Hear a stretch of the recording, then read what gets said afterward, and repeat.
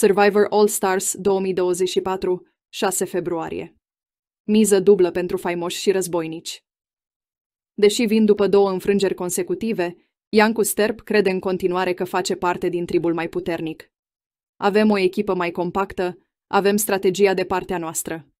Oare să aibă el dreptate și să fie motorul unei reveniri? În ciuda câștigurilor, faimoșii nu au liniște. Zani și Jador par într-un conflict tot mai aprins, iar Ana Porgras va răbufni înaintea jocului de astăzi. Nu pot să explic în momentul ăsta ce am pe suflet pentru că nu mă pot calma.